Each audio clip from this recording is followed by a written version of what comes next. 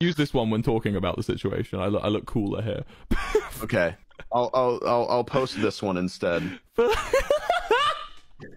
I was not a happy bean. So he he throws the key away. He throws the key Mhm. into into like down the hill of the Beverly Hills. And then uh, and then I'm like I'm like fuck you. So I start like kicking him every time he gets near. Like he's he has to he has to make like a, a perimeter around me because I'm like kicking every time he gets near me. Yeah. you just started.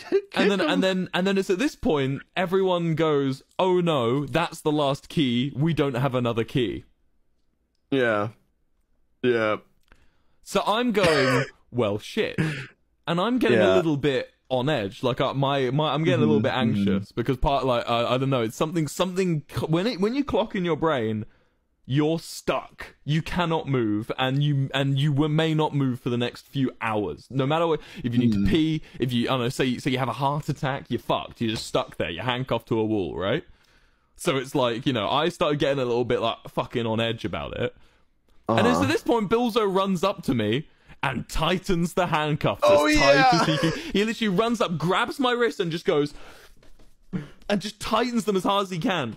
And I, I lose my shit. I snap at him. I- I snapped him. I like proper. I was like, oh, I, t- I said, I Mm. said, don't fucking do that. I like get proper. I felt so bad afterwards. I don't shout ever, but I like proper. And like Mm. Billzo, Billzo's telling me he apologizes and that he was bad and he said it was not nice. But Billzo, I, I don't mind because I know you felt sorry because the second I snapped at you, you looked like the fucking, you looked scared, man. he was fucking like his face went from to and it was just uh, I proper like, I had a I had a mini go. Luckily, very soon after he tightened it, good boy Freddy found the key. He found that he dug through the trees. He found the key. yeah.